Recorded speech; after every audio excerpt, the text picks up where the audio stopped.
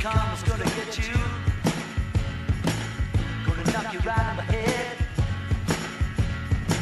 You better get yourself together.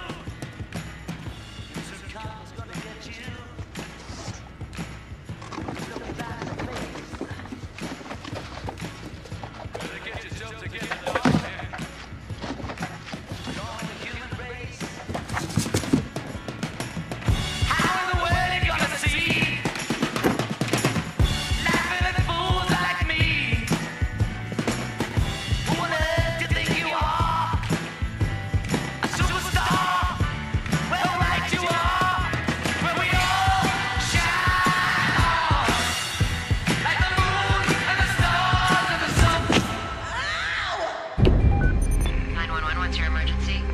You gotta help me. I can't move. I fell. I think I broke my hip. What's your location, ma'am? Uh,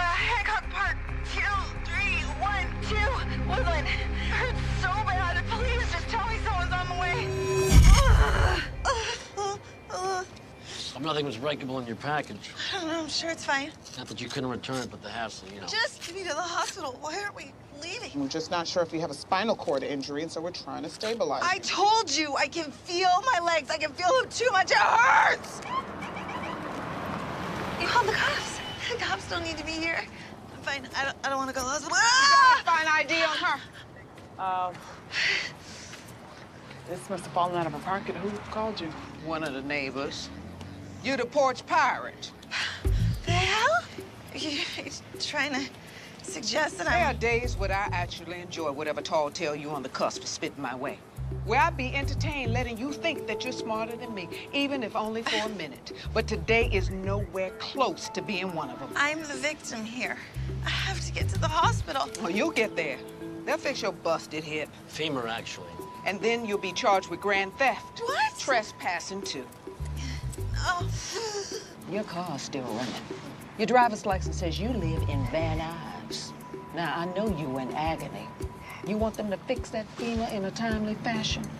You cut the crap and confirm what I already know. I don't keep anything. I just like taking them. I'm supposed to go to a rehab in Arizona, but they won't take my insurance. Uh,